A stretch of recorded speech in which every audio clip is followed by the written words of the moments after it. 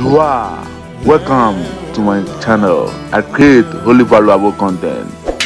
Have you subscribed? Heaven's gates open up with understanding you order the sea.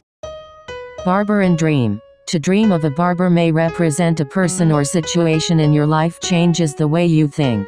Being set straight about an issue whether you like or not. Negatively, a barber may reflect people or situations that coldly, bluntly, or insensitivity set you straight about your beliefs or questions. By grace of Yeshua Jesus Christ Joshua David Solomon have answers to your dreams you are always welcome subscribe for more thank you.